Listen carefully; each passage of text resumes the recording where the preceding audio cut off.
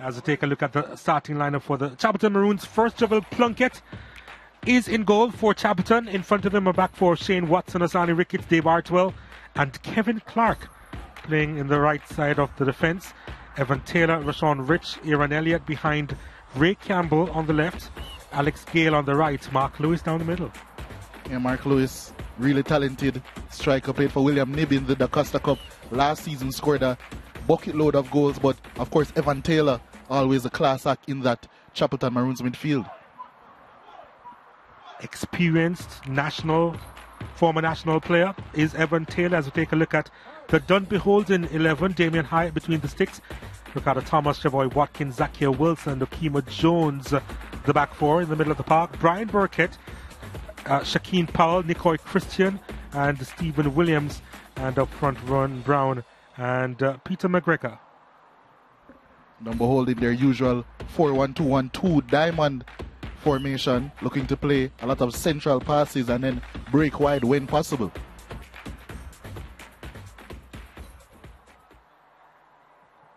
So,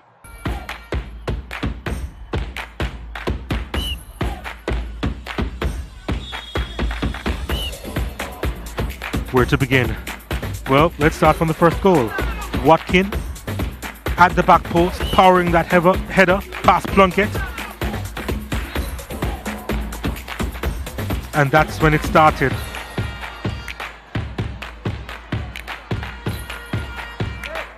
Dunbeholden were dominant in this game. But they're actually level. Chapelton. Not the cleanest hit from Mark Lewis. It was a good ball inside from Kevin Clark, who started this game at right back. Showing the attacking intent from the Chapelton Maroons. But that was the last time that they would see parity.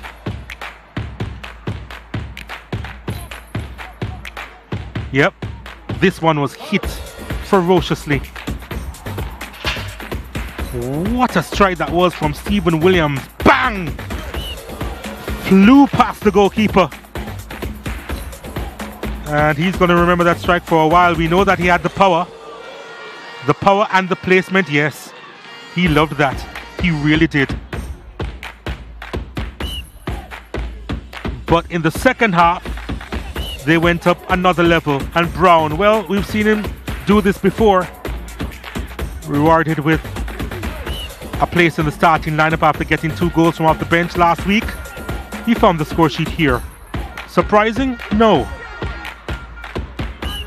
What was a little bit surprising was the capitulation. And coming off the bench with his first and second touch, Carlington Blackwood. Delightful. Yeah, he's gonna want to look at that one over and over again. Yeah, the first touch past Evan Taylor, and then the flick over the keeper.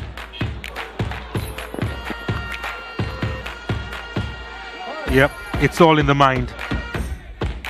Came off right after that though. Was injured. Hoping that he's fine. But they were split open time and time again. At the back post there was Burkett. It was an easy finish for him. The young Georgian converting from close range. His second of the season. Brown was everywhere.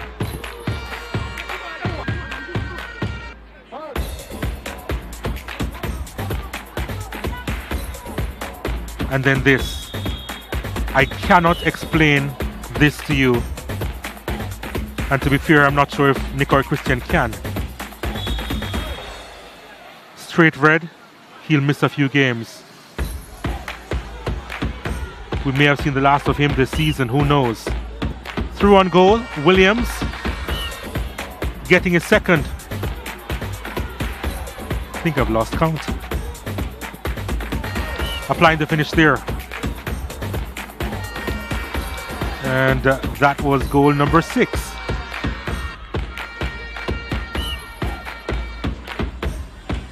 But there would be one more because, well, Ron Brown wanted a hat trick as well. And to be fair, he got, he wanted a second goal, I should say, and he got help from Stephen Williams, who had two goals himself, and Brown converted. Back-to-back games, back-to-back braces, and for Chapelton, back-to-back games conceding seven. Chapelton Maroons with 10 shots, one on target. Dunbeholden, look at that, 24 shots. 16 on target. You see two yellow cards issued, one red card to Dunbeholden, which they may just regret.